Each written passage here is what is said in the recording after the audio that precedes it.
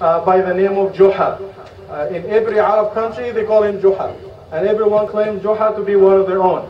Sometimes he's very smart, sometimes he's very crazy, and so on and so forth. In Turkey, I believe they call him Hoja. In Arab countries, they call him Juha, and so on and so forth. So basically, Juha was traveling with his son one day. They were going to the market, and Juha was on the back of his donkey, and his son was walking next to him. So basically, they passed by a group of people, and the people were not too happy. They said, Look at this man with no rahmah in his heart. He's on the back of the donkey, his son is walking. When Juha heard this, he got off the donkey and he put his son on the back of the donkey, and Juha started to walk with, with the donkey. They passed by another group, and they were not too happy with Juha's son. They said, Wariya, what's wrong with you? You're on the back of the donkey and your old dad is walking? Like, you have no respect? What's wrong with you? So Juha told his son, okay, stay on the back of the donkey, and Juha got on the back of the donkey with his son. They passed by another group, and they started to shout at them. What happened to animal rights? Two big people like you on the back of a small miskin donkey like this? So Juha and his son, they got off the back of the donkey and they actually carried the donkey, both of them. They passed by another group and they started to laugh at them and they said, look at these crazy people, Majnoon.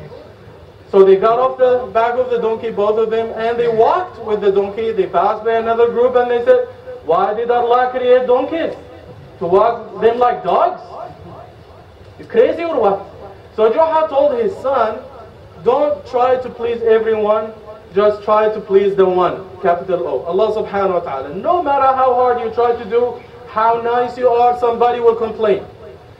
Even if you fall flat and people walk all over you, they will complain that you're not flat enough.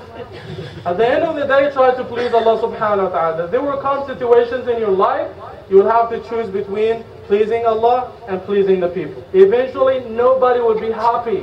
Somebody will open their mouth and complain. Obey Allah subhanahu wa ta'ala and try to please Him. We'll continue some other time, inshallah ta'ala. Uh, the question for tonight, we gave the prize last, last time, but uh, the question for tonight, inshallah, it says in the Quran, once the punishment comes for a people for disobeying and rejecting and denying the Prophet, the punishment is going anywhere. The punishment has to befall them and crush them. There is only one exception in the Quran. The uh, punishment was set to come, but people begged Allah for mercy and they cried for so long. Eventually Allah subhanahu wa ta'ala lifted the punishment and they were not destroyed. Uh, Allah give them uh, a long time to survive and enjoy life.